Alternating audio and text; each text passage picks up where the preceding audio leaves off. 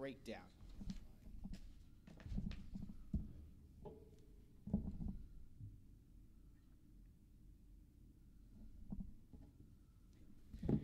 And welcome inside Delaware Live Sports. Nick Allison Jr. alongside Mike Lang and Jason Winchell. Nick Halliday behind the glass here today. And no, we did not change our mind. We are ready to go. It's our 2022 bracket breakdown for both boys and girls basketball. Again, this is not a bracket reveal, a bracket breakdown. The seedings and everything were posted hours ago. We're just here to break it down for everybody and kind of dive in to some of these upcoming matchups. First off, guys, how are we doing? Oh, I think behind the glass is probably the best place to be if you're in that girls' committee. yeah, a very eventful morning, and we will dive in to all of that here in just a bit. But the seedings are out. It's that time of the year, guys, and now it's time to shift our focus. Regular season complete as we look ahead to the tournament. And we'll start with the boys here first. And right off the bat, I'll tell you, we talked about the parity this year in terms of high school basketball on the boys' side of things, both boys and girls, but specifically in the boys. And we're going to have some phenomenal matchups throughout this entire tournament. Some phenomenal round two and quarterfinal matchups, especially maybe like we haven't seen in the last few years. So let's get started, guys. And our top seed for the boys was revealed, and it will be Salesianum. So Salesianum, the Sallies, they get the top seed, and both of you guys kind of had that urge in the last week or so that that was going to be the case. Yeah, you know, their out of state schedule and in state schedule is tough. They racked up uh, more bonus points than a lot of teams have win points and total points. So, uh, you know, you rack those up, bonus points up, and you get the top seed, but they had to hold off at, at some charging teams, uh, especially that last week of the season. if you look at who they played, um, they could the who's who. Um, a lot of them, the Philadelphia teams, they played uh, Neumann Goretti's in the Catholic League final yeah, on Monday, Monday night. Yeah, they'll they, be playing. And they beat Roman Catholic to get to the final. Yep. They played Roman last night, or two nights ago rather. Uh, you know, they played Imhotep Charters, one of the top uh, public schools up in Philadelphia, and uh, they, they played uh, Paulsboro. Beat Paulsboro, nice win for them. The other day, Paulsboro was 20, and they came into the game at 20 and two. Uh, so they, they took on those challenges. They, it was a nice win for them at Paulsboro. They, they struggled against you know, struggle. They, they took their lumps against those Philadelphia teams and, Yeah. and Bullis and the other Maryland team they played. But congratulations to the Sal's. They uh, they they played. This is probably the toughest schedule of any Delaware team that I can remember in the last ten years. And again, Sally's a phenomenal year for them. They got some young guys that have really stepped up. Uh, Kareem Thomas, and you look obviously Justin Mullen, Isaiah Hinson, another young guy. They've really played well uh, this this season, and they'll be your top seed and definitely one of the premier teams here this season in the state of Delaware. So they are number one. We'll jump to number two. And how about this team, guys? We had them on the show about a month ago. They were kind of hanging outside that top ten at that point. And now they have propelled themselves to the number two seed, the Caravel Bucks. They've really been hot here in the last month or so. Had a chance to see them uh, several times, including twice in the last week. Uh, Pat Gary and he's not here. Pat and I went and saw them against Middletown, and then we saw them against. Uh, St. Elizabeth. St. Elizabeth's, thank you. And the other, see so many games you forget. Yeah. Mhm. Saw them against Salesianum. They beat Sally's. They beat Middletown. Beat St. E's. Uh, that's a really good team led by uh, John Clemens. Scored 29 points Yeah. against St. E's. He is really, really. He was 16 of own. 17 from the free throw No, he was or something perfect like from the line. Oh, He was excuse me. and 16 Sorry about from that, the John. line. Um, it was unbelievable. It was him and uh, Don Wyatt really Yeah. led the way, but they have a lot of nice complementary pieces on that team, and, and I think they're going to be a real, real tough out. And I see who they're they've got lined up. We'll talk about that later. Yeah. And, and the, if I was giving out Coach of the Year, I'd give it to Mr. Tobin. Uh, you know, they're, they're hot right now. He, he had a young team coming in. Mhm. He uh, weathered the storm early in the season. He got these kids to believe in his system, and uh, it's working. Uh, they're the hottest team coming into the tournament, and uh, congratulations to them earning that second seed. I know a few weeks ago, uh, Yeah. before they got on that win streak, I had them somewhere down at seven or eight, and they climbed all the way up to a two. So, tells you how important those last few weeks of the season are. And again, top eight seeds will receive a first round bye. So Caravel, they get the two seed, and we talked to Coach Tobin about a month ago. He said they had trouble finishing ball games, had trouble coming out of the locker room in the third or fourth quarter, and now they've kind of found the solution to that. Hey, uh, yes, uh, Nick. Uh, let's look at the 24 versus nine matchup.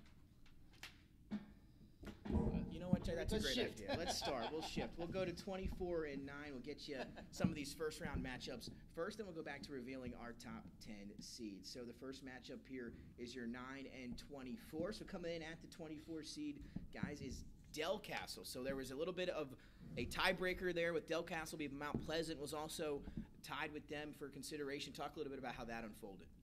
Well, Del Castle beat Mount Pleasant. That's really the uh, what it came down to. The actual Yeah. 24 seed was Polytech. Uh, one of their opponents who we saw. Uh, we, the game we got Cristo Rey. They beat Cristo Rey by 42 points. Uh, did not play 15 games. Those two points didn't count. And unfortunately for the Panthers and their cool uniforms, they kept them out of the, uh, That's out of the state tournament. And that's something the committee talked about today to maybe address so this doesn't happen going forward. But it's going to be Del Castle. Uh, I don't know if I got a chance to see the Cougars this year.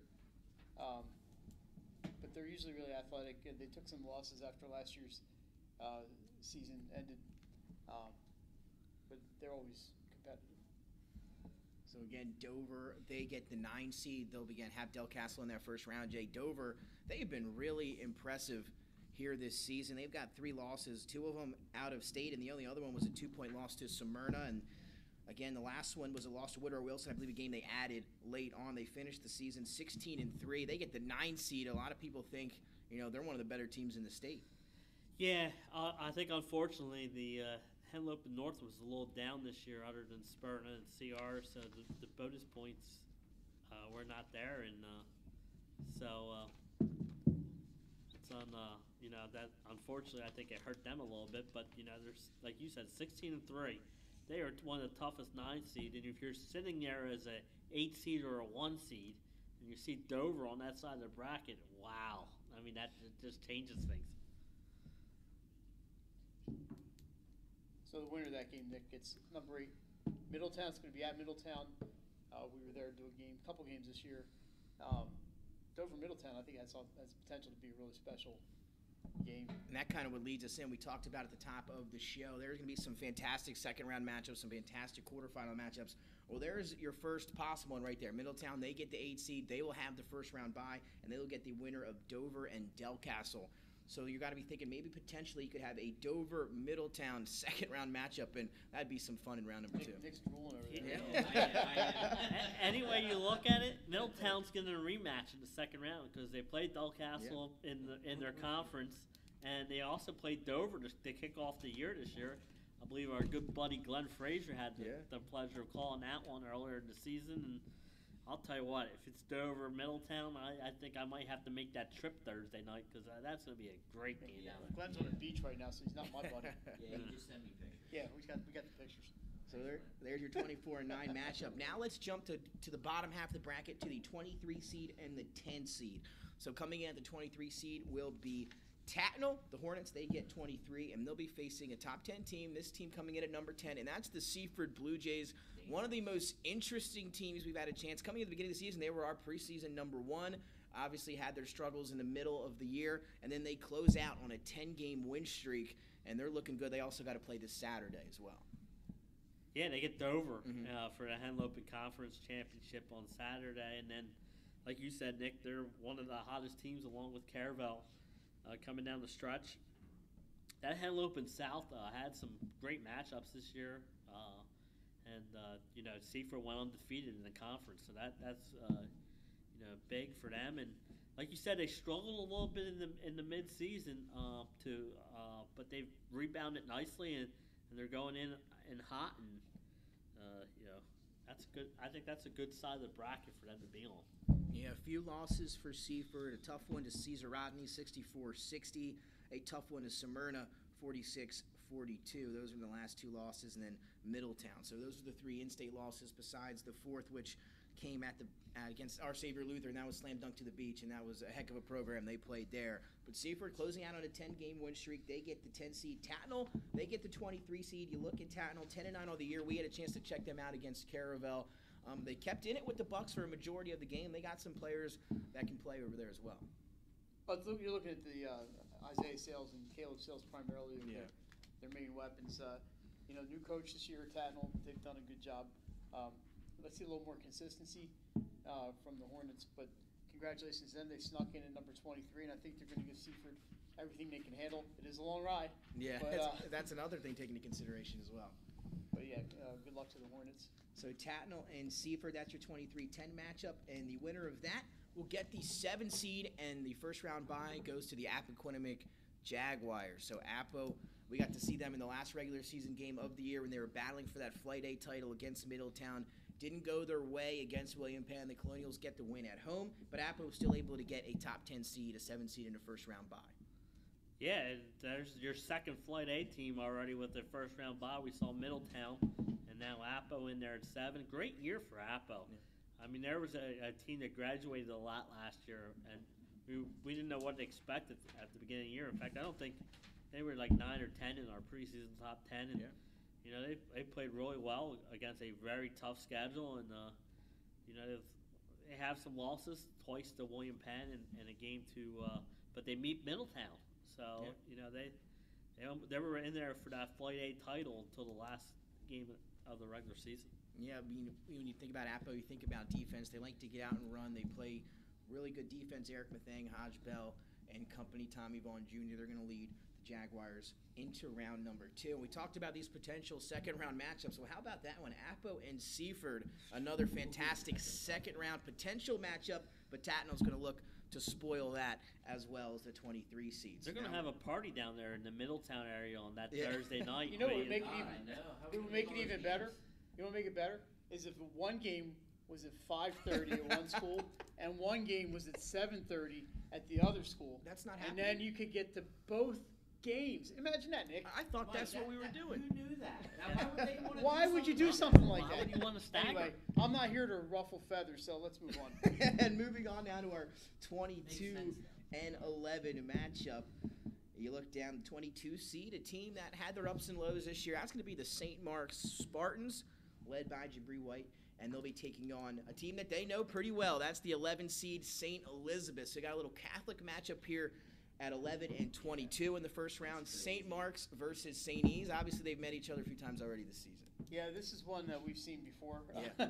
Crazy. I think the St. Mark's, uh, you know, they lost a few players in midseason, and you can see you can see it in the record. They Yeah. lost uh, four, three or four in a row.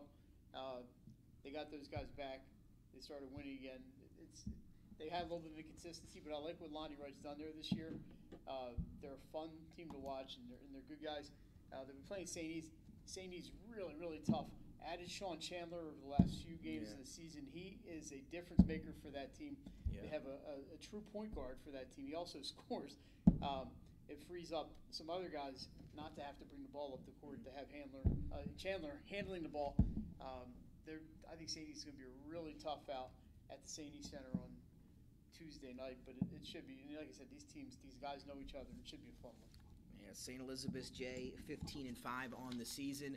But they beat St. Mark's both times, as you talked about this year coming in. It's hard to beat a team three times, uh, but that's going to be a great first round matchup. And and St. Mark's won four out of their last five, and that f- only loss they had was to Sally's. And So and, and they ha- and they had the lead in that game and, and struggled at the foul line. They've also struggled at the foul line the, the, the last few games of the regular season. One of them they were two for ten. I think they need to improve that if they want to beat St. Elizabeth's. It's sort of, you know they they got to be better at the foul line. I think Coach Wright will have them shooting free throws Yeah. and getting we- ready. For, They're shooting 'em right now. Yeah. I know. he's in the gym. He's he's getting ready. But yeah, that's one thing I would like to see St. Mark's approve if they want to get out of there with the win. I have a feeling I'll be at the St. E Center on uh, on Yeah, I think. On Tuesday night. Yeah. And free throws a big part of winning games come playoff time. So as you mentioned, it's going to be big for the Spartans. See if they can do that. But should be a good one at 22 and 11. But the winner of that one, who are they going to get in round number two? That's going to be the six seed, a team that we just talked about very briefly. That's the William Penn Colonials. So they get the six seed. They get a first round bye in. What a season! The Colonials have had head coach Gary Lumpkin. They're having a great year, led by Gabe Valmont and Jalen Sample. And and there's the third Flight A team. So we got Flight A six, seven, and eight. Three of them in there with the first round bye. It tells you how strong that Blue Hen Flight A conference was this year.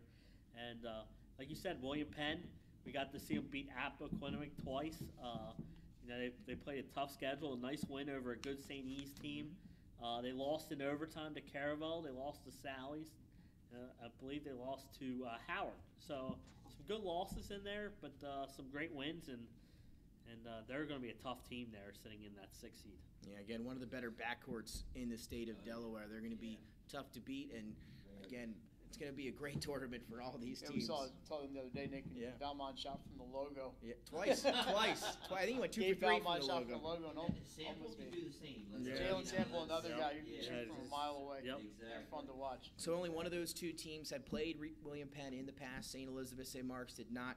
And back in that game was February 3rd, and it was a a 66-58 win for William Penn over St. East. However, St. East trailed by ten at halftime, came back and took the lead, Yeah. and then That's right, we William did that Penn. game. Oh, I was at the game. Um, they came back and took the lead, and then uh, Penn made a lot of foul shots down the stretch, and uh, just pulled away a little bit. But It was a lot closer than the eight Yeah. points.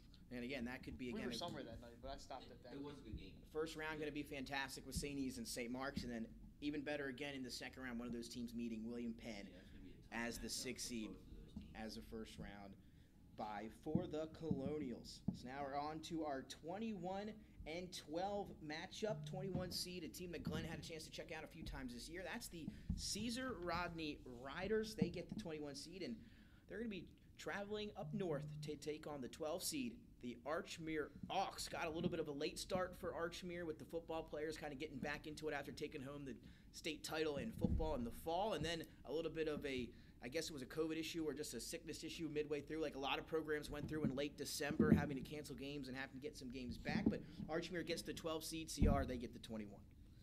Yeah, and uh, I think this is con- contrasting styles, Nick. Uh, Yeah. A Caesar Rodney team that likes to score and play a fast pace. Archmere a little bit more deliberate, um, more funda- fundamental. They like to slow it down. Uh, so this this game could be dictated by the score and what pace uh, wins out. But uh, I think it's a, I mean, an excellent first round matchup and probably one of the better ones out there in, in the first round. And uh, it's a nice trip up to Claymont for the, the Riders. And Mike, you know Archmere very well. I know Archmere very well. I have not, believe it or not, Caesar Rodney, one of the few teams I did Yeah, not see this year. uh, yeah. Um, and uh, but Archmere, like Jay said, they're they're pretty fundamental. Uh, they're healthy, which is is good. Um, you know, you remember Chris Albero from football? Yeah, He runs the show in basketball as Mhm. well. A lot of their football players on that team, they're all in basketball shape now, and it should be a uh, should be a good one. I expect the uh, student section to be there pretty uh, in force. Um, you know, he's been there at every game pretty much. Is Kieran Udovich, the man he's at every game. Yeah. Every game, Kieran, he's Trying always there. remember, yeah. And Archmere 12 and 6 on the year. Caesar Rodney also having a pretty good year themselves, 12 and 8. They've won their last four with wins over Milford, Newark Charter, Sussex Tech, and McKean. So CR riding a little bit of a hot streak in as well, and should be a good one there in round number one. You look ahead now to the winner of that one. Who are they going to get? And a team we've seen a few times this year. New head coach for the Sanford Warriors this season, Tyrone Perry. They get the five seed and a first round bye, and they will get the winner of CR and Archmere. But Sanford, we got to check them out a few times. We've seen them beat Howard when Howard was the top team in the state. They've got a lot of talent on that team, and they played well so far this year. I like um, Sanford. They just played Archmere the other night, a late edition, and they they took care of Archmere. It was not really that close. Uh, they're playing pretty strong. You know, they have taken, they've had a few surprises this year. You know, uh, St. Andrews got them, Tower Hill got them, Yeah. and uh, of course uh, Salesianum uh, beat them at the Chase Center at the Yeah, uh, which SL was a- twenty four. yeah. Um, it's not quite the same Sanford team that we're used to seeing, but they do have a new coach. They saw down Polk. They have Chris Stanford inside. They have Porter Kelly shooting threes. Yep. They do have some talent in that team. Not quite as dominant as before, and I, I think that's good. It kind of evens out the field a little bit. Yeah, and But they're, Wogadell they're still a company. really good team. Yeah, and you mentioned they got a lot of talent, as you just said, and all those guys could contribute for the Warriors. Yeah, and what I like is Coach Perry's done a good job. I think he knows that the team's not going to score as much as they used to in the past. Yeah. So he tries to keep it a little bit more, you know, tough they defense, and they Saw play it great against Howard. defense. And you saw it against Howard. They they they did not get into Howard's pace of, of playing fast. They played their pace, and they were able to dictate it. And, and I think that's key for Sanford come this state tournament. So there you have it. CR 21, Archmere 12. The winner of that one earns a date with Sanford in round number two. On to our 20 and 13 matchup for the boys here, round number one. And this will be a good one for a little bit some downstate action here. Two teams that Glenn knows pretty well coming in at the 20 seed. That's going to be the St. George's Hawks, who have put together a pretty good year for St. George's this year on the hardwood, and they're going to meet the Smyrna Eagles, who grabbed that 13 seed. So 20 St. George's, Smyrna 13 in round one. And just like Archmere and Sanford, they just played this week. Uh, Yeah, St. right. St. George's went down to to uh, Smyrna, and Smyrna took home the victory. Smyrna's starting to get hot at the right time. You th- th- throw out that Cape Henlopen loss. I believe they won five out of the last six coming down the stretch. Yeah. Uh, gets them uh, got got them in there in a, a, a higher seat. I had them on the road for a while until the, the last few weeks. So, uh, you know, a good stretch run there. And like I said, they just played Monday night. Uh, but like you said, sometimes it's hard to beat a team a second or even a third time. Yeah, again, Smyrna 12 and 7 on the year. We had a chance to check them out against Salesian. That was a game Sally's led from wire to wire. But again, Smyrna just didn't really look themselves in that matchup on the road. It was an early start up in Wilmington. Yeah, that was We'll only time I did. saw Smyrna. Yeah, so. that's, that's why. But St. George's, they are 11 and 9, as you mentioned. They had lost to Woodbridge and Smyrna, but then were able to get a win over Concord to close out the regular season. But again, St. George's 11 and 9 and having a pretty good year. So that should be a good matchup in round one with Smyrna and St. George's. But who is the winner of that going to meet? The four seed and a team that's been hovering near the top all season long, a team we've seen a few times and are they, they have been impressive. That is the Howard Wildcats. They grabbed the four seed and a first round bye. Just had a chance to see Howard at Sally's last week. By the way, my, maybe my favorite game of the year as far as atmosphere goes. Yeah. It was packed. It was loud. It was uh, intense. And, uh, online, it was- I wish I was there. It was a lot of fun. Uh, And I was Me too. really, really impressed with Howard. They have they've got length. They got uh, guys who can shoot. That You're, you're not going to out rebound them most of the time. Uh, they play that smothering pressure defense, um, and, and they, they, they get out and run on you. You, you can't run with them. I just you, you got to slow them up. You see what uh, Sanford did Yeah. to them. Really shut down their offense and made them play a half court game. And that game was still very close. Howard had a chance to an win that game, yeah. But they held Well- Howard to 29 points. But Exactly. I, I, love Howard. I think it's a great team. Yeah. That was a game where Howard got into some early foul trouble, and I think that's key. Uh, is the, is their It is. depth. Yep. Uh, but like Mike said, you know, and, and that game changed against Louisiana when they went to a press in the third quarter and, and forced in the early fourth quarter and forced numerous turnovers from that Sally's offense, which doesn't turn the ball over normally. So that tells you how good that Howard pressure defense is. And when they got that press game working, uh, watch out, they're dangerous. Uh, they got the fourth seed, three-way tiebreaker. Yep. And, and you know, and they, they end up getting the uh, with the with their common opponents uh, win percentage against common opponents. We're able to get that fourth seed, which was key. And I agree with you, Mike and Jay Howard. A very impressive team, one of the most impressive teams I got to see so far in the state this year. Hollingsworth can light it up scoring. Darius Brown, one of the most athletic guys you'll find. He can go up, crash the boards. He can score as well. And then you got Matthews and DeShields, the two two guards. They can both shoot and light it up. They could give you 20 on any given day. So Howard's going to be a tough out for anybody in the tournament. Again, they will have the winner of Smyrna and St. George's. Looking ahead of that, um, Smyrna went to Howard last year and Yes. beat Howard at home. Yep. So that could be a, a, a, Yeah, a? Howard Smyrna matchup Rematch. from last season Yeah. At Howard, right? at Howard again. And So you better- and, and guess what? The winner of that game last year went to Salesianum. Oh. So how about that? It's uh, And- and eerie, think- eerily similar. I, I think it's gonna be almost, could be the same, almost the same kind of. Well, let's keep it moving here. We just talked about St. George's and Smyrna. Now on to our 19 and 14 matchup. So, guys, the 19 seed was Delmar. They able to end their season on a high note the other day. They get the 19 seed, and they will meet the 14 seed Woodbridge. The Raiders coming in at 13 and 6. They've dropped their last two tough losses to Laurel and Seaford, but the Blue Raiders have had a pretty good year. They were hovering just outside that top 10 for a majority of it, and they're going to come here and they're going to grab the 14 seed. I gotta be honest, I haven't seen either one of these teams. I did see a little Delmar when we streamed them at Lake Yeah. Forest. Uh, I believe they they have an up and down type of season, but hey, when when you get in, that's that's really what matters. Anything could happen when you get to this point, but they're gonna have to play at Woodbridge. Uh, yeah, they're familiar with Woodbridge, obviously in the Hendy South, so um, I me- expect a pretty even game. But I know Jay had a chance to see Delmar in person, but probably knows a little more than I do. Delmar got off to a hot start, struggled coming down the stretch a little bit. Uh, they are very young, uh, very guard oriented. Uh, uh, we saw them against Lake Forest. They struggled on the boards. uh, but we're able to win that game. Uh, they got great guard play, um, you know, and they and they get a, a matchup they're familiar with with a Woodbridge team. Um, you know, a, a third time, uh, like you said, Nick. Some, uh, I believe they beat Woodbridge earlier this year, if I'm not mistaken. Probably played twice, I imagine. Yeah, I think they split, but I'm, I'm not 100% sure. But uh, th- like you said, the third time, uh, it could be a rubber match or it could be uh, Delmar's, uh, you know, looking Split. for yeah. Yes, you're right, Jay. Yeah. As you usually are. And again, Woodbridge 13 and 6. They do have wins again over St. George's. They beat Delmar once. And uh, they also beat Lake Forest and a couple other teams. Polytech, who was unable to get in um, late as they did the seedings. But should be a good first round matchup. Like you said, the teams know each other. But who will they get in round number two? They will get the three seed. And that is a team we just had the luxury of checking out this past Tuesday. And they looked really good on the road at DMA. That's Tower Hill.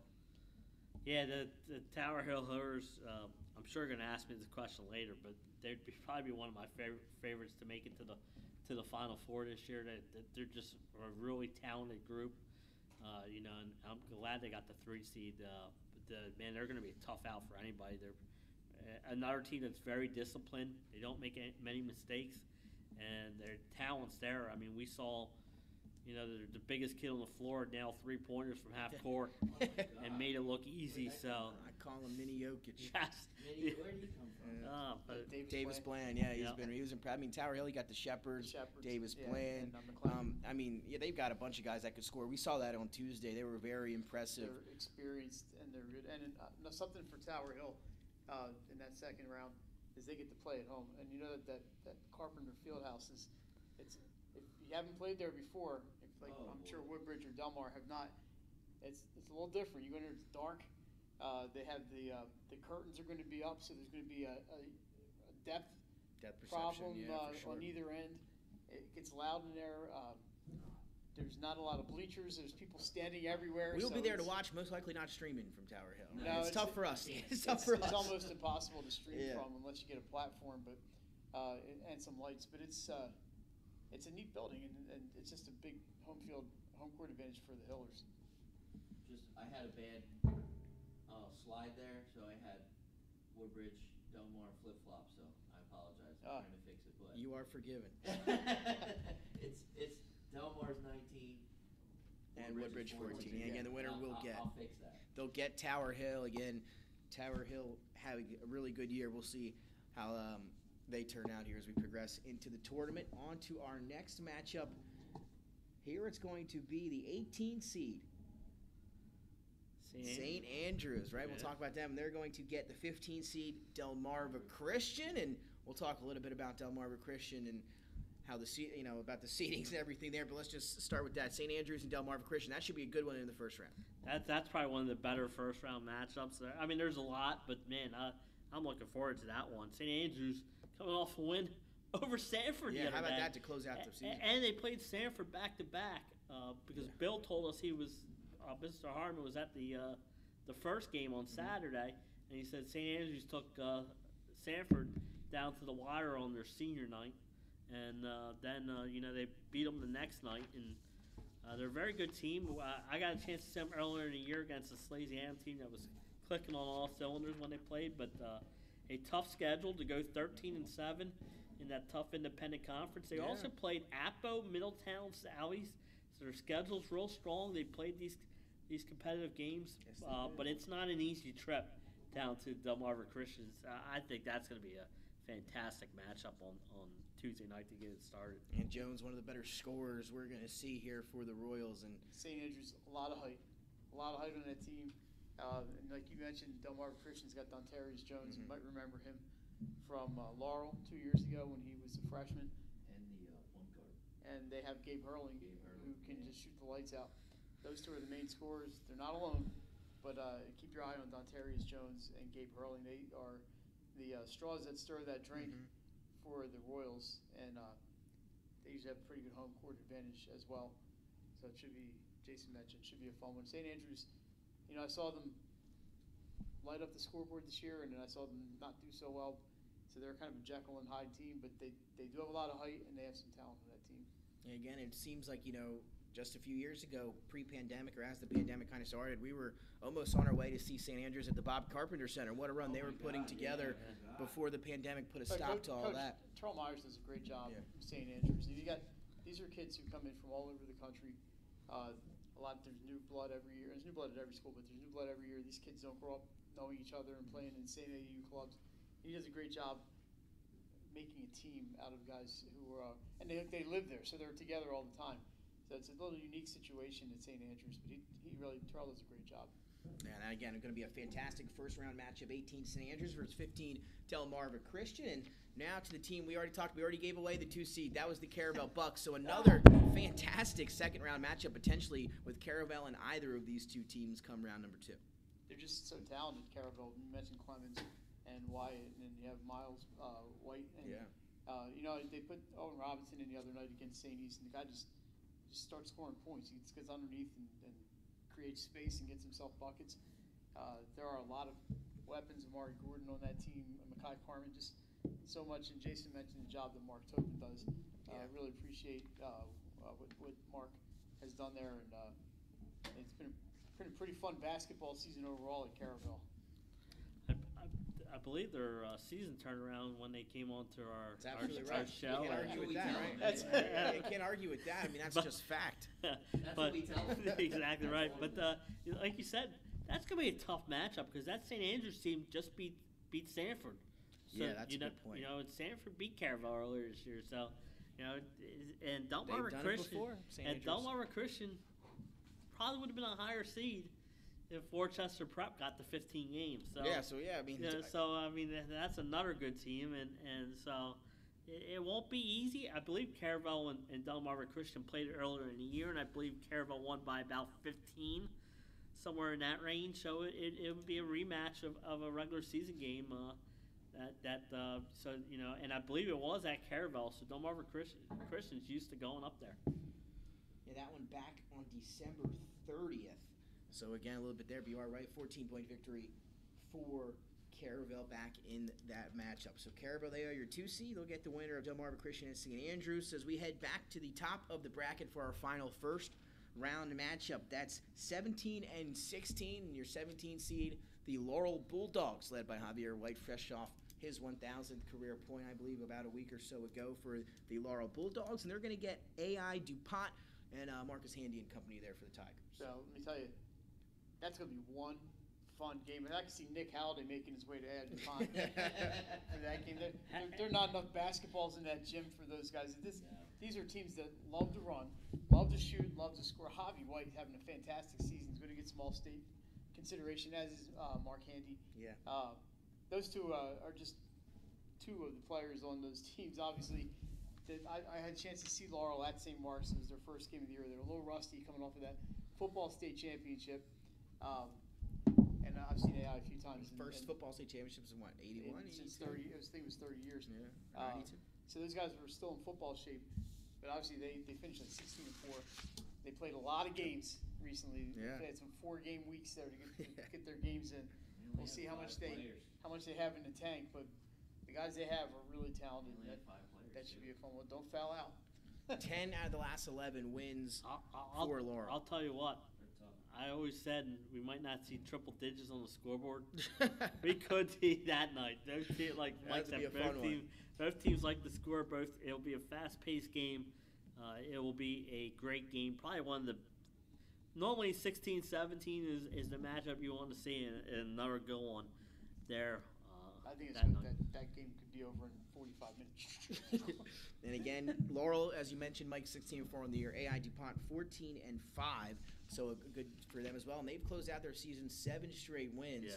for the AI DuPont Tigers. So again, that should be a fun one in round one. But winner of that one's going to get a matchup with the top seed in the tournament, and that is Salesianum.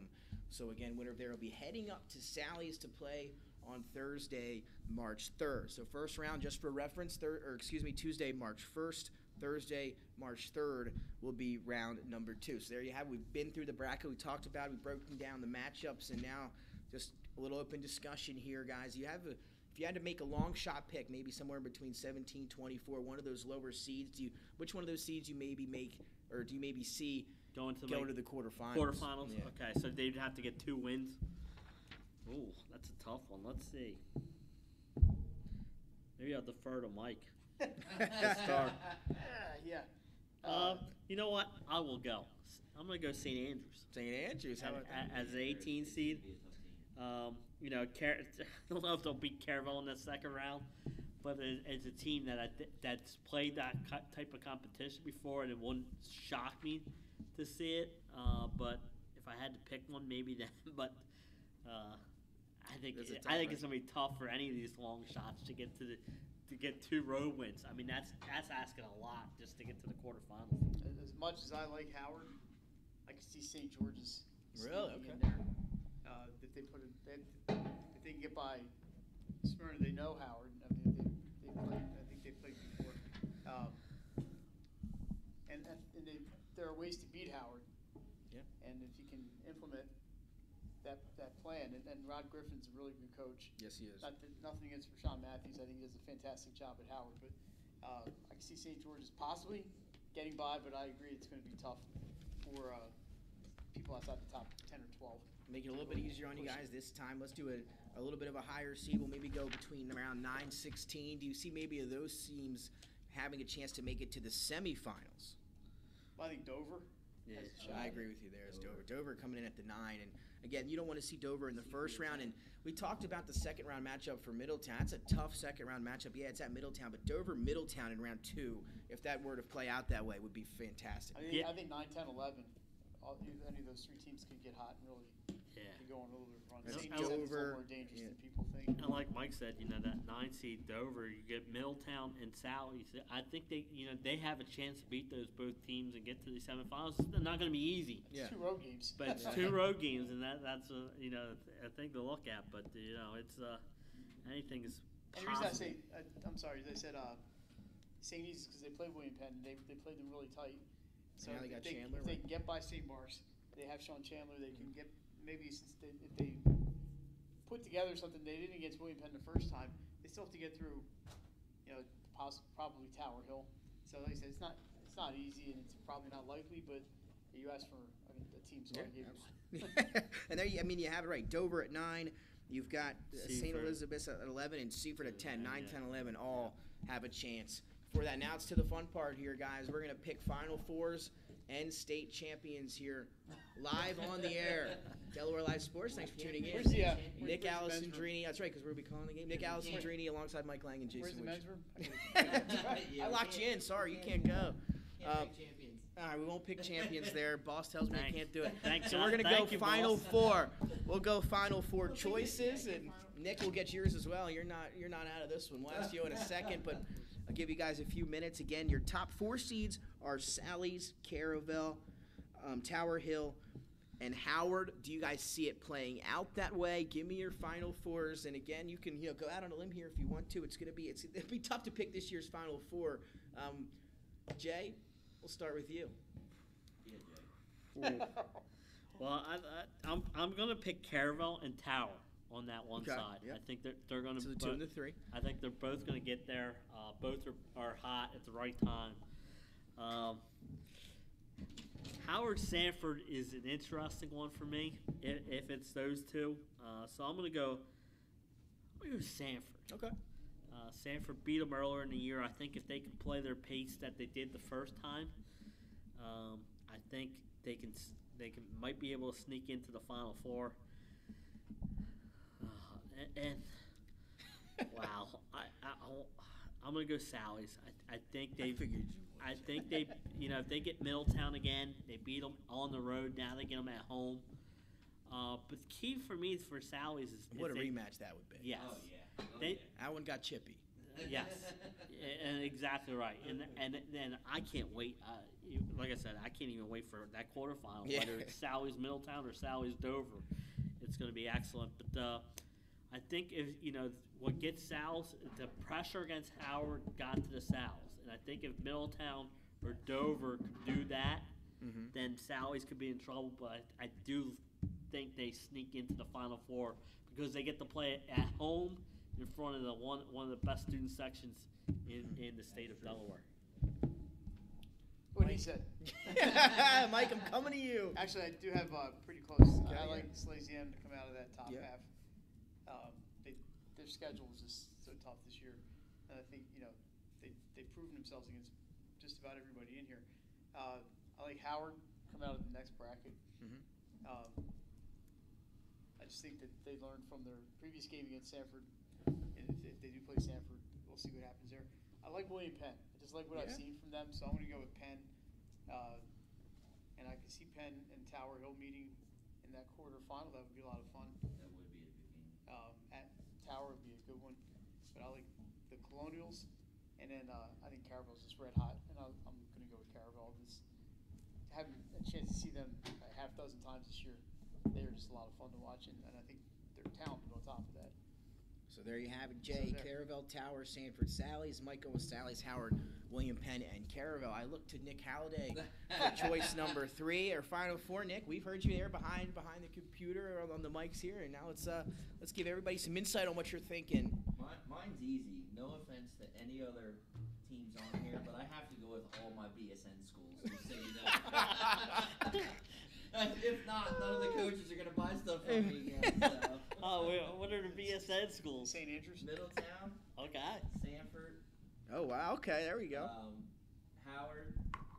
And they play each other. Wait, Tower Hill and Appa, they're all my schools. So, I There got- you- so interesting final four there So I for got a final Nick. five. No, uh, you know, uh, again, not having any bias or anything. Yeah. Um, a lot of talent. As no this matter one's probably what. one of the toughest ones Yeah, to try yeah, and, and these, call. Um, man, there's a lot of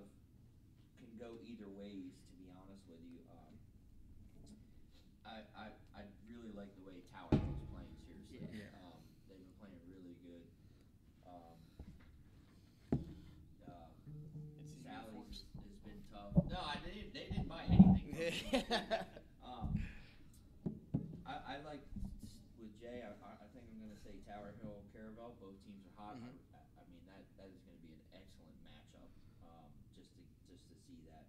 Um, and then and then I I'm going chalk. I like and I think it's going to be Howard Sally. Yeah. I mean, uh, and, and that'd be a great one as well. and I can see that going any other way. Yeah. I mean, Middletown's really tough. Appo is really tough. Mhm. William Penn is talented. Is they're all good teams. So to me, I just want to see good games. and Yeah. I'm excited. And that's how uh, again think most of us are. want- yeah. Yeah. And then lastly, as we wrap up our men's, we'll then we'll quickly shift to the girls bracket here in a minute as after we take a break.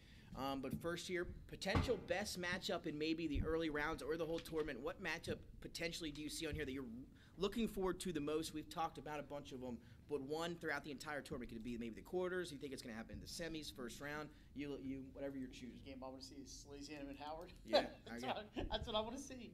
And that would be again that would be a It's in quarterfinal matchup. It's in the Semifinal. semifinal. Oh, semifinal matchup, excuse me, that'd be Thursday, I'm looking March 10th. from yeah, but so we'll see.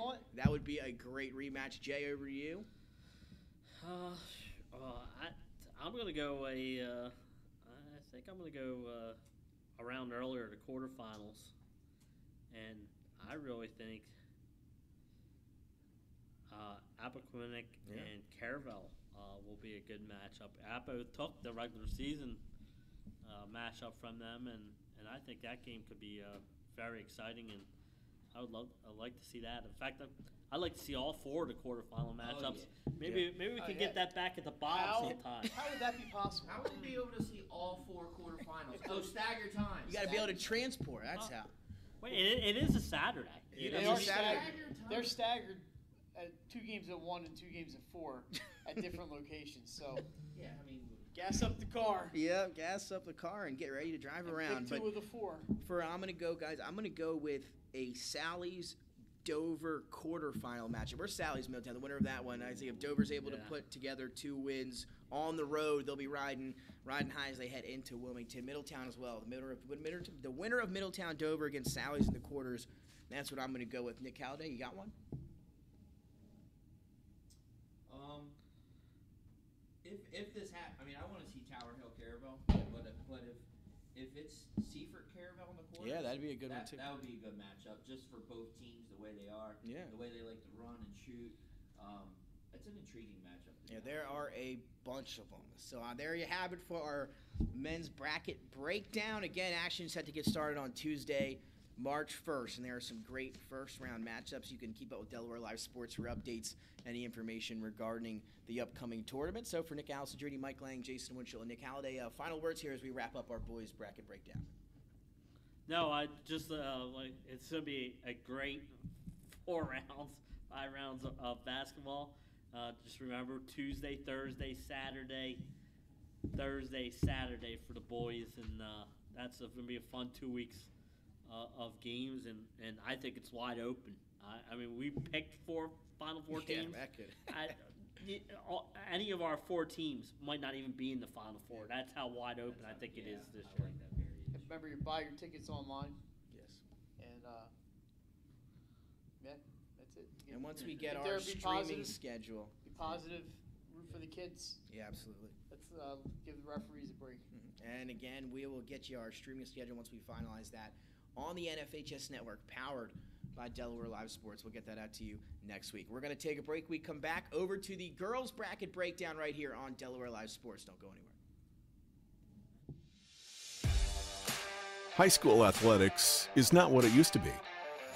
The sporting goods industry has been disrupted, adding to coach and athletic director daily challenges. BSN Sports stands ready to change the fundamentals of our industry, giving our customers the advantages they need right now.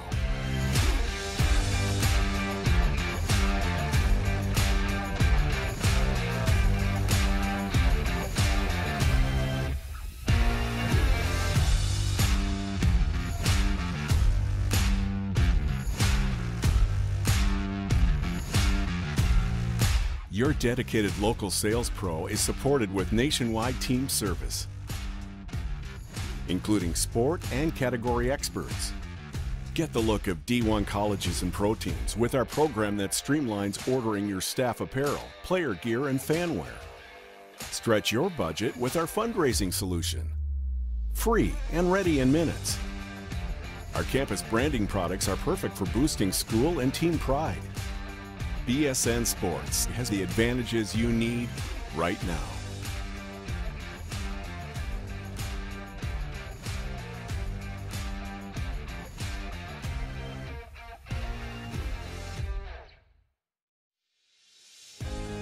Welcome to Premier Physical Therapy and Sports Performance. We're a locally owned outpatient physical therapy practice with convenient locations in all three counties in Delaware. At Premier, we have experienced physical therapists with advanced credentials, but their hospitality, passion, and enthusiasm is what makes the difference for you.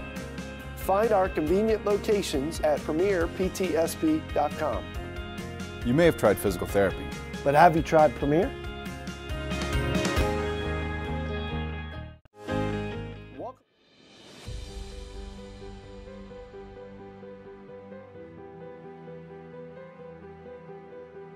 How you doing? My name's Mike Cassidy. I'm the founder and president of Cassidy Painting. I started back in 1984, incorporated in 1986. I never had the word no in my vocabulary. Uh, when someone called me to do a job, I always said yes, whether it was a struggle, whether it was seven days a week, uh, sun up to sundown, it, it didn't matter. And with that philosophy, we were able to grow to the size we are. We employ close to 80 uh, individuals. We really enjoy being in the family business. Um, I look forward to coming to work every day, and it's so nice to work with the people that we work with in the office. Uh, we've really become a family with them. We really create a family experience around here.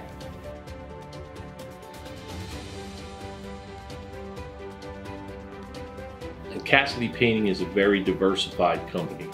We don't say no to anything.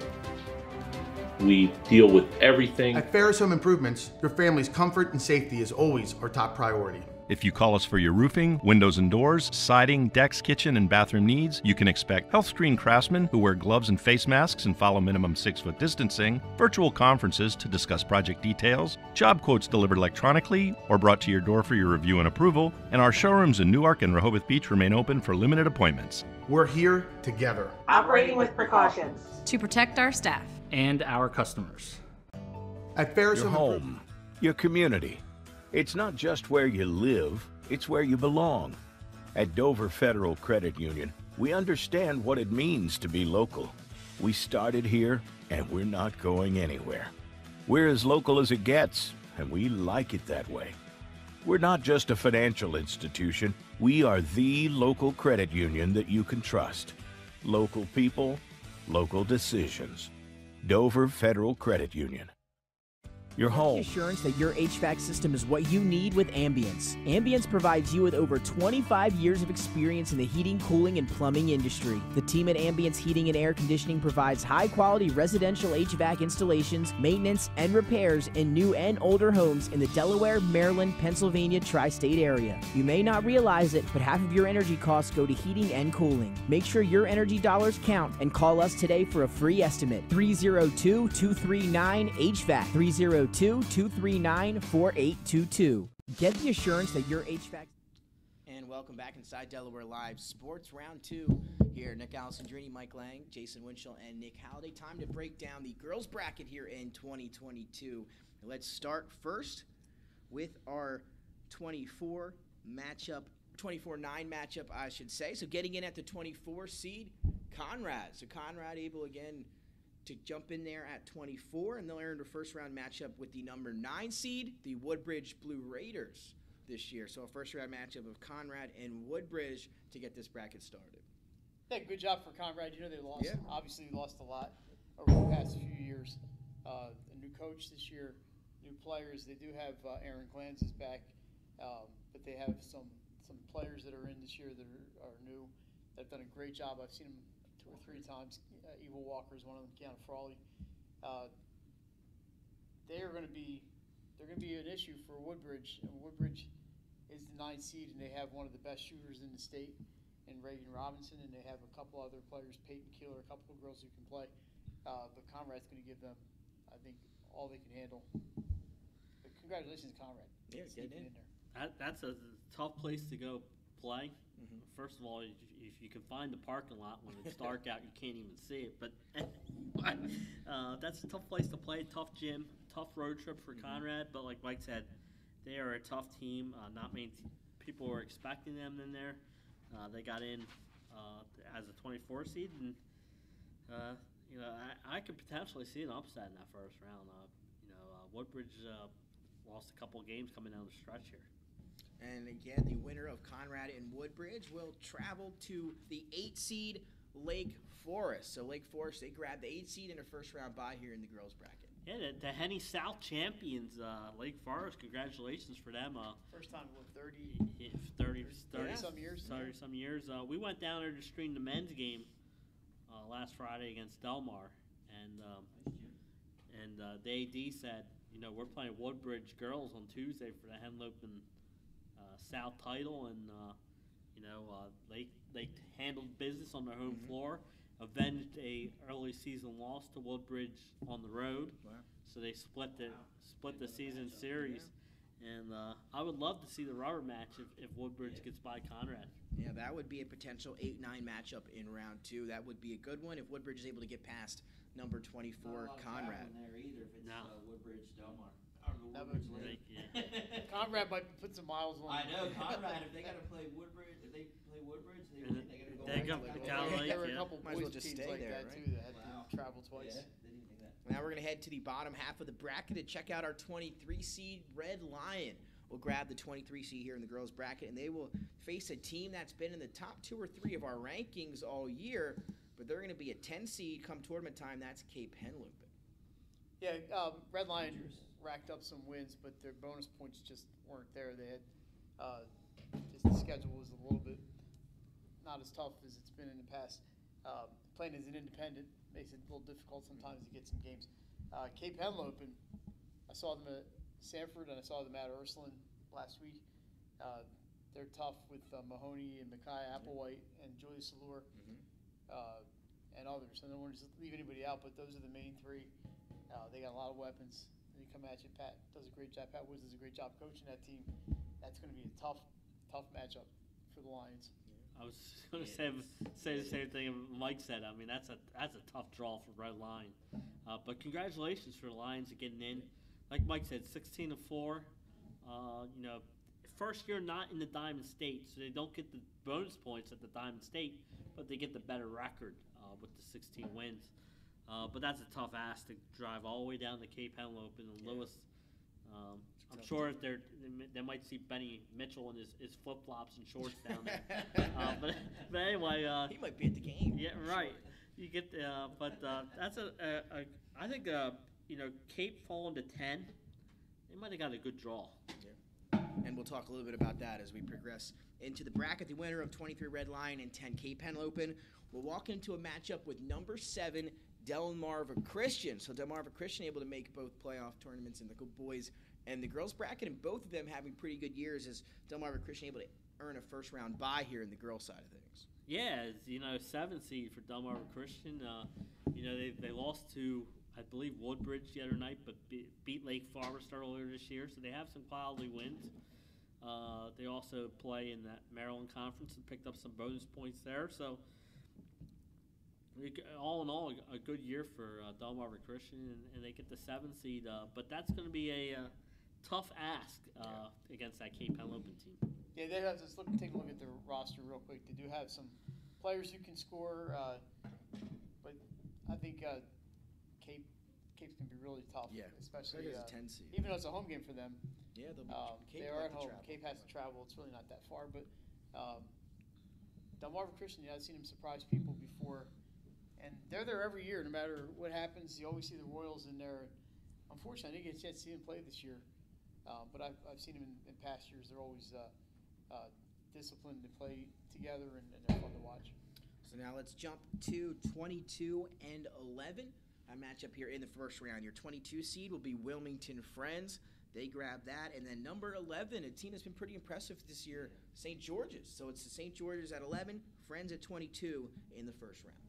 Yeah, St. George's, uh, that's a, a good team. They have a freshman, uh, Chastity Wilson, uh, and her, uh, they'll call her Speedy, and she can she scores a lot of points. They have uh, uh, Richardson, who can score. They got they got a lot of options on that team offensively. It's going to be a tough assignment for the Quakers to uh, to go down there to Middletown and win. Although or to St. George's and win.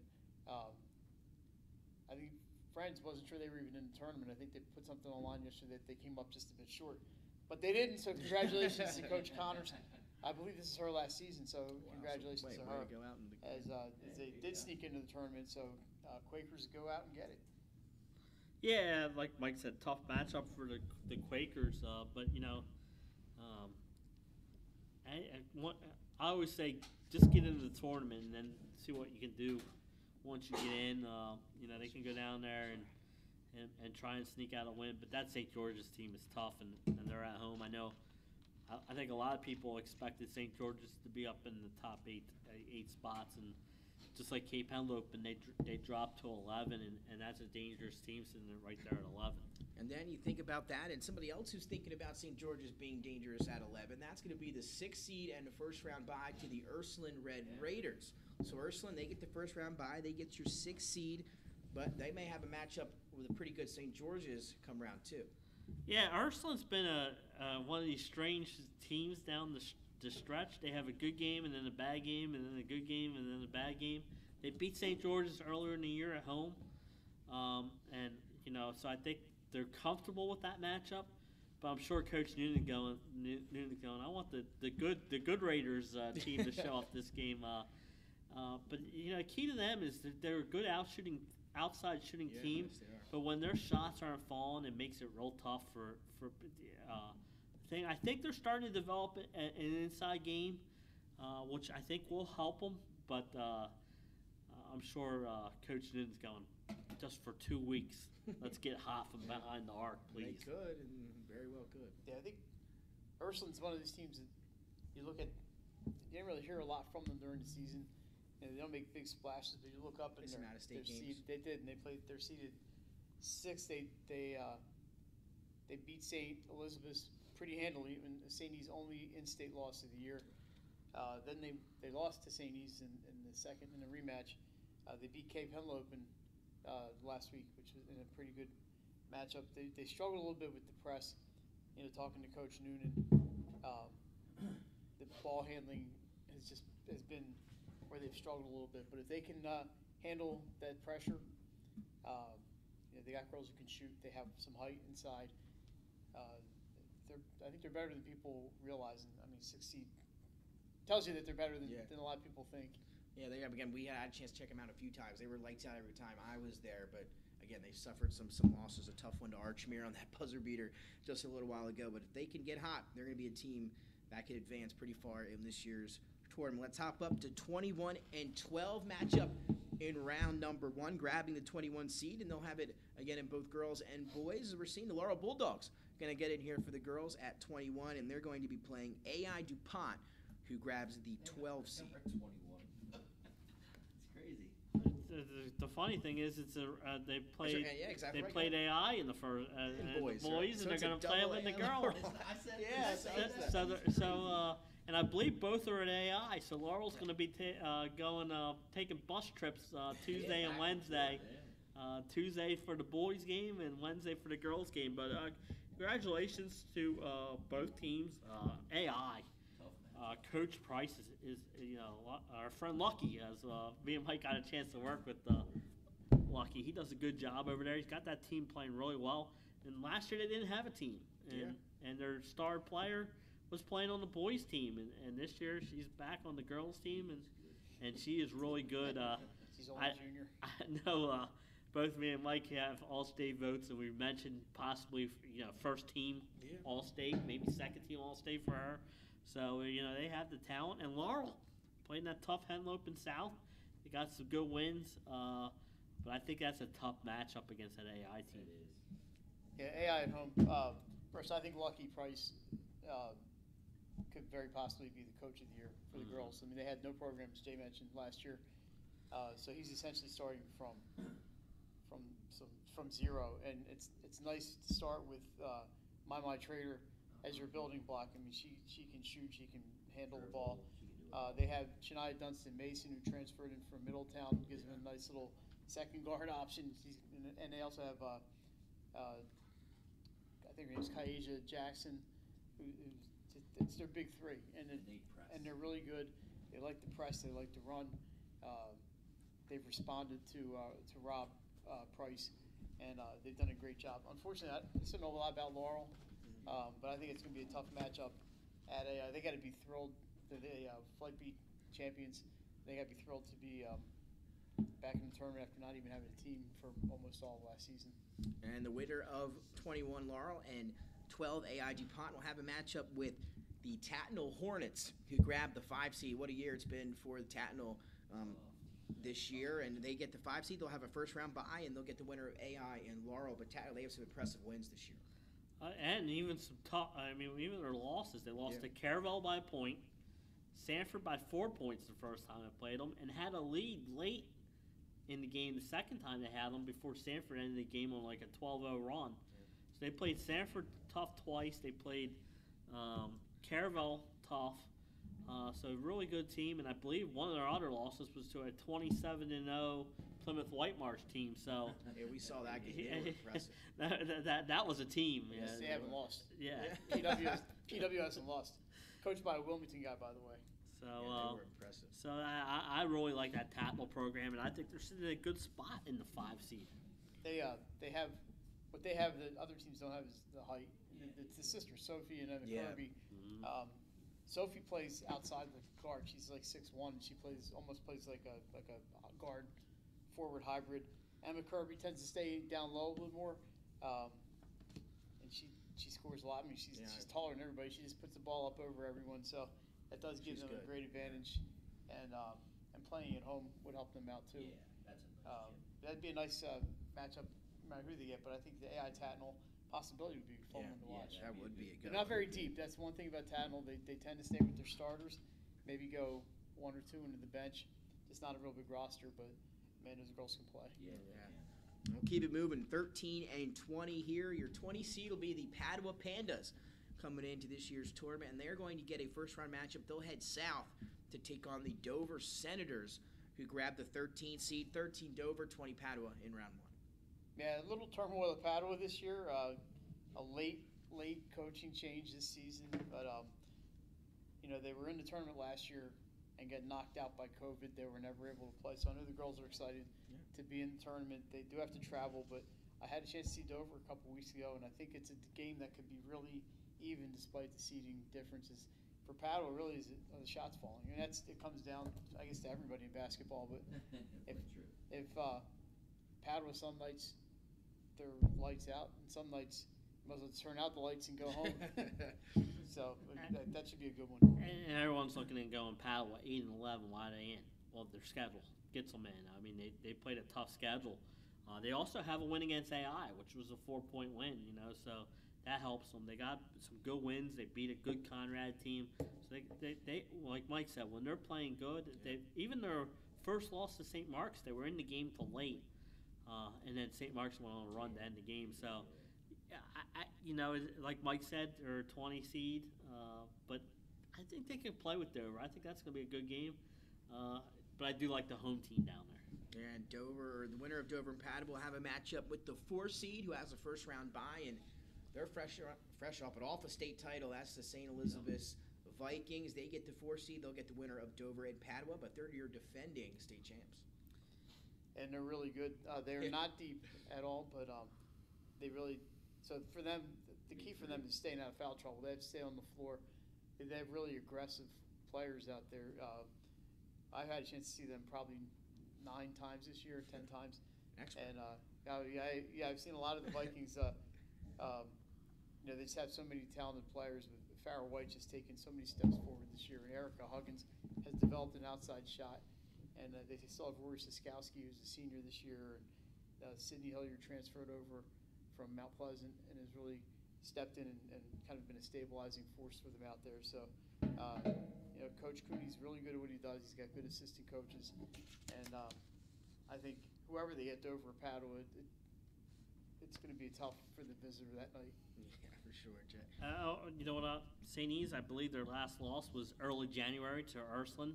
So they're again, we said hottest teams on the boys was Caravel. Well, on the girls, it's that St. Elizabeth's team. I mean, they're they're rolling uh, right ahead. They, they lost to a a good Central Dauphin team in that tournament in December, and then and then they lost to Ursuline right after that, and they haven't lost since. They got some good wins against Caravel. Uh, they got their uh, a, a, rematch against Ursuline and, and came through it, and they beat Woodbridge. And they beat Woodbridge. So I mean, they, they got some quality wins towards the uh, char- Wilmington Charter. Um, so I mean, I, I just think right now they're the hottest team, and uh, they're like you said, they're looking for a repeat. Like Mike yeah. said, their issue I think is their depth. They get in foul trouble. I think they could be in trouble. So again, Dover and Padua winner gets St. E's in round two. Heading to our 19 and 14 matchup. Your 19 seed, the Delaware Military Academy Seahawks, and they'll be taking on the 14 seed. They'll head over to Pike Creek and take over, take on the St. Mark's Spartans, who grabbed that 14 seed. DMA and St. Mark's will battle it out in round one. That ought to be a fun game. I think that'd be a fun for for atmosphere. I think yeah, you got two of the best student sections in all of Delaware right there. That's what I'm saying. Um, I mean, the, the Sally St. Mark's boys game a couple weeks ago was insane. It may not be to that quite to that level, but uh, these DMA students they travel, and Mm-hmm. the St. Mark's kids they, they, they love to. sup- You're a Spartan, you know. It's like they love to support each other, and I think it's going to be a really fun game. Um, I think there's going to be a lot of shots flying from the outside uh, between these two.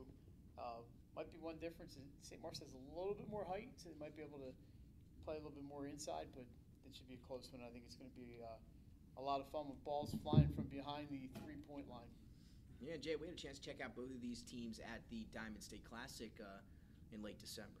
Yeah, first of all, what a year for St. Mark's. You know, 15 wins. Uh, they really played well.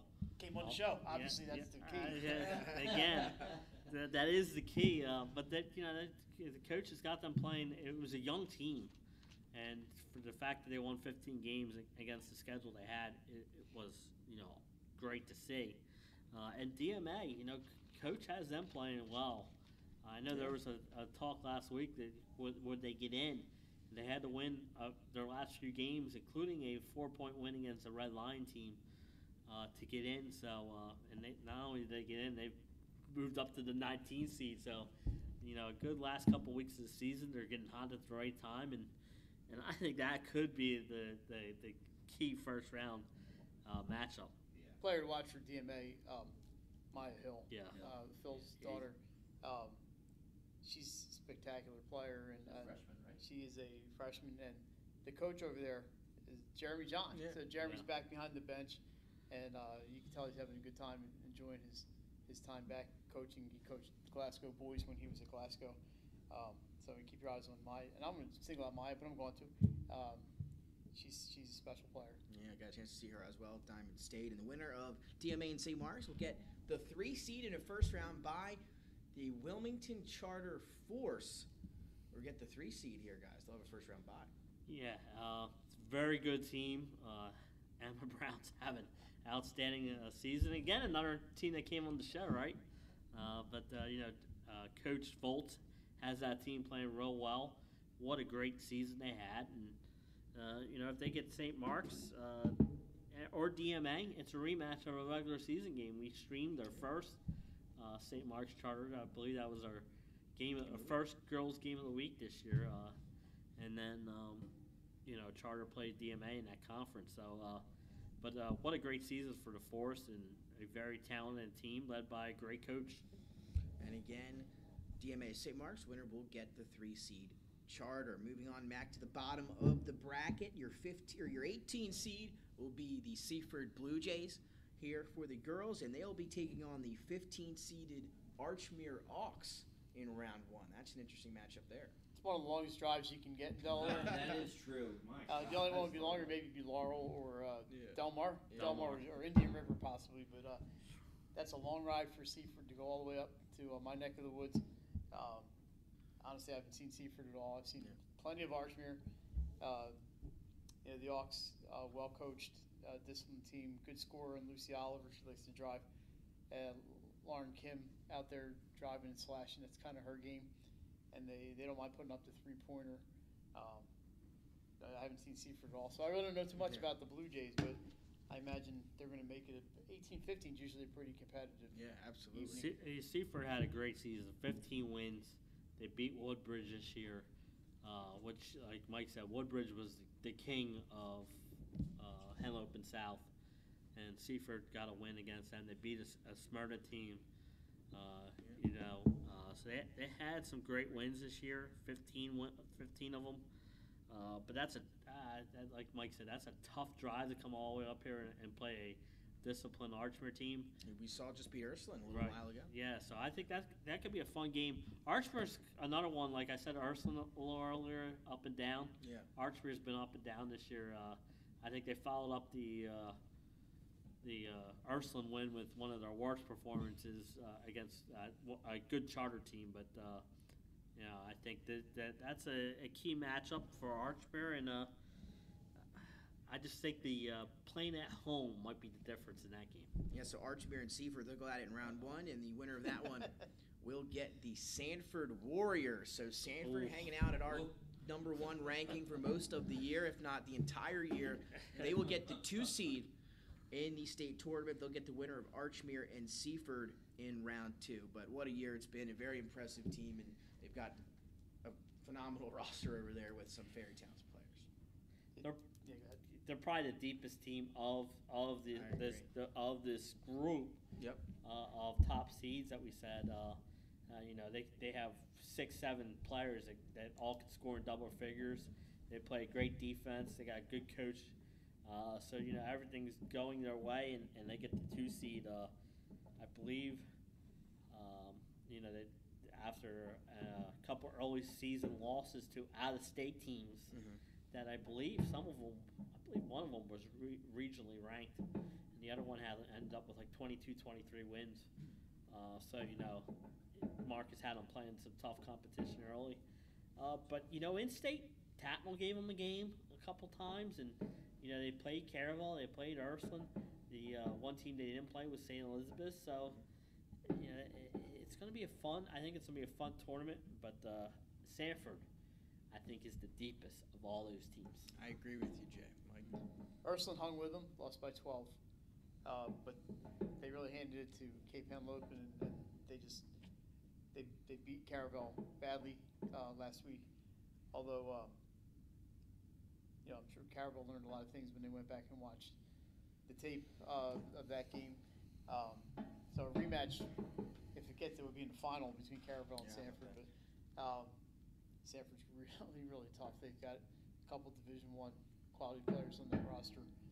Uh, it, it's going to be a tough go for anybody against Sanford, especially at their place. Yeah, they got experience. They've got youth. They've got it all. Zy Kilgo kind of leading the way with the ball in her hands most of the time. We had a chance to see them play Cape Henlopen when Cape made the trip up to Sanford in a big top three team matchup, if you will, and Sanford made it look real easy at home in that one. So again, you're going to be eager to see how they perform in the tournament, but by far one of the deepest and most talented teams we're going to see this year in girls basketball. And to our final first round matchup, it's the 17-16 matchup.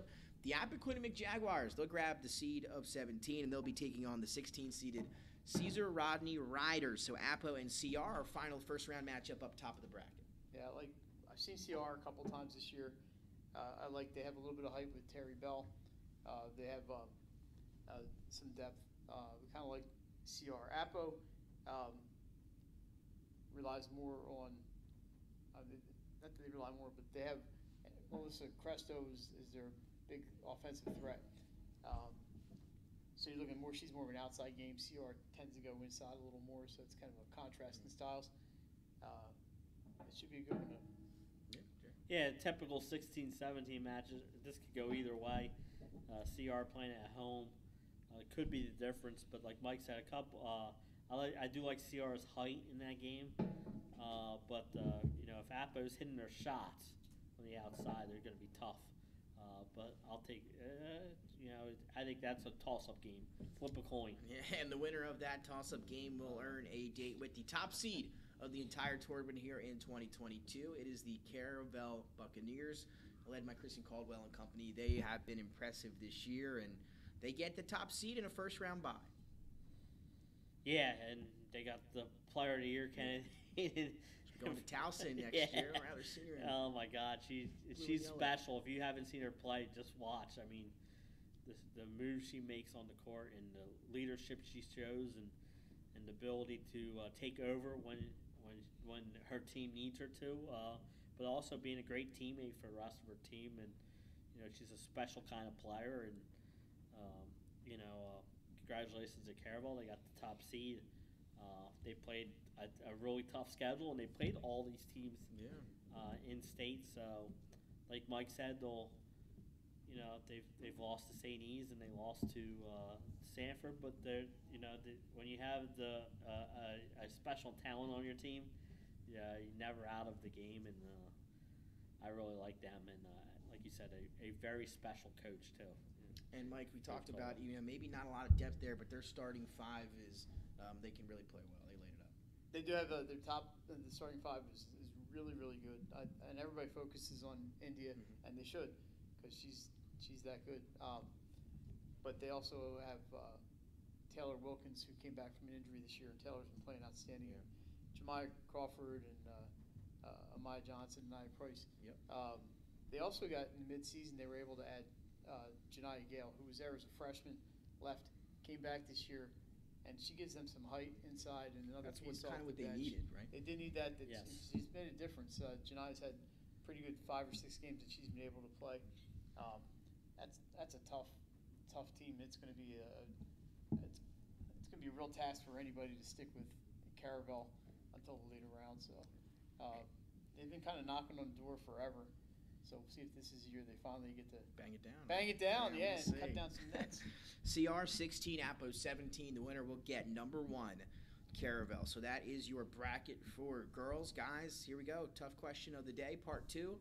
Final four. If you had to pick your final four here today, right here on the moment, for girls basketball. Again, the top four seeds are Caravel, Sanford, Charter, and St. E's. But who's your final four? Mike, we'll start with you this time since I uh, made Jay go first for the Bulls. All right, so I'm going to go Caravel and St. E's up top. Yep. And down the bottom, I would say, uh, I'll go the easy one first, it'd be Sanford. And uh, out of that other bracket, I'm going to take Ursuline. Okay, as to the get six. There. Number six seed to sneak through. Nothing against Charter. I love, I love, the, four. I really do. I love the force. I've seen Yeah. them enough. Uh, great kids, but I got to make a decision here. I'm going to Yes, you do. so Mike Caravel and St. E's at the top, Sanford and Ursuline meeting in the semis at the bottom of the bracket. Jason, on to you. Your final four and why. I want to start drinking. a Diet Pepsi. I am gonna go Ca- uh, Caravel, and I'm gonna throw out a surprise at you. I'm gonna Okay. go, I'm gonna go the Hornets. Tatnall over St. E's. There you go. Uh, you know, I, I think that's a tough matchup for the Hornets against St. E's, but uh, one that I've seen them play against the top teams, and they're always right there. Mhm. Uh, wouldn't surprise me to see Tatnall sneak into the, the semifinals. And then on the bottom half, I am going to go. Here's another surprise, Yeah, even though they're the three seed, Wilmington Charter Force. Okay, so going with Charter. I'm going char- Charter. Uh, I, I, I think they get to the Final Four this year. And uh, Sanford. And Sanford, again, we talked about Cape Henlopen getting that 10 seed. Now they're going to meet Sanford in the quarterfinals. Again, didn't didn't look great up at Sanford, uh, you know, just a little while ago. But how about that matchup? Again, two teams that have been in the top five all year. They're going to meet in the quarters. Not Yeah, sure where that game would be. And either. I was gonna say, Mi- Mike's right. Right. I don't think that uh, Sanford can host the quarterfinals. They can host the second round. Yep. But I believe quarterfinals they're gonna have to play on a neutral gym. So, uh, you know, that might help Cape Henlopen a little bit because they struggle up at, at, at Sanford. the Where'd they first play time. last year? Tatnall. I think Sanford played at Tatnall. right? Yes. Yep. Last couple of years, they played their their uh, their sec their home away from home has been at Tatnall. Well, there you have it. Our girls bracket breakdown. Mike and Jay giving you their potential Final Four picks. And again, both of these tournaments for both girls and boys this year should be very, very exciting. Those first round, even second round games should be great. Brackets are on uh, the DIAA website too, by the way. And brackets have been posted. Again, just came out here on the DIAA website. Like the brackets themselves, seedings were revealed hours seedings ago, were but the yeah. brackets now able for you to view online at DIAA. So for Nick Alessandrini, Mike Lang, and Jason Winchell, as we wrap up the girls thing here, guys, final words as we head into tournament time here in Delaware. No, I said it to the guys. I'm gonna say it again. Uh, you know, fans this year. It's gonna make a difference. These games are gonna be fun. They're gonna be exciting, and there's gonna have students, and they're gonna have fans, and their gyms are gonna be packed, and it's gonna be a fun atmosphere. So, you know, yeah, let's let's get out there and, and let's support these teams and, and you know, like I said, unfortunately, without the staggered starts, you're gonna have to pick a game and go to the game. Yeah, pick one. You got a couple good. You got a couple good ones to pick from. So you got to pick one. As you all know, you picked your, your Yeah. final four. Now you have to pick your games you actually get to I'm, go uh, to. I'm looking forward to uh, having people back in the stands this year. Uh, I got to say, I'm a little disappointed in that girls basketball committee for not even considering, uh, at least for the quarterfinals, staggering the start times. And there was no, there wasn't even a discussion. It was like Why it was it was brought up say- and said, "Can we stagger the times?" And it was there was It- no discussion. It was no. It's funny it's, how it's, the, a, it's a shame because who were they there for? They're for the kids. Yeah. They're not. You know who are they there for? The Plus- girls want people out there to watch them. Yeah, I'm just disappointed in the girls and committee. media coverage. And- about it. And it's a lack of media coverage because Yeah. you know and it's certain media outlets are not going out to cover these games, Yeah. but those of us who are, we can only go, be in one place. Yep. And I'm just disappointed, but I'm excited about the tournament. It's about the girls, not about us. So I hope they have a good time. Right. Agreed.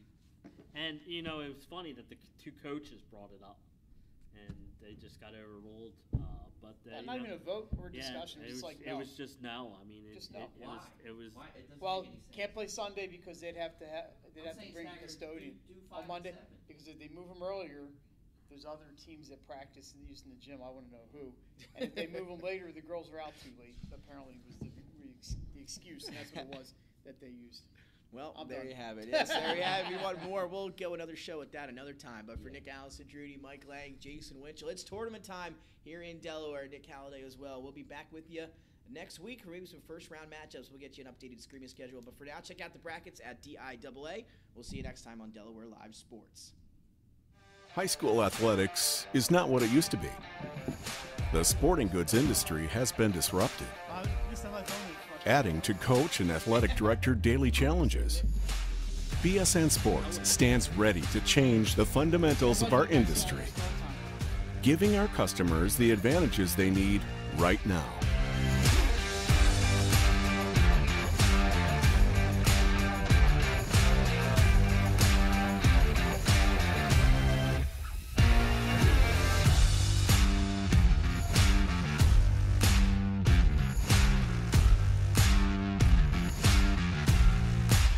Dedicated local sales pro is supported with nationwide team service, including sport and category experts. Get the look of D1 colleges and pro teams with our program that streamlines ordering your staff apparel, player gear, and fanwear. Stretch your budget with our fundraising solution. Free and ready in minutes. Our campus branding products are perfect for boosting school and team pride. BSN Sports has the advantages you need right now.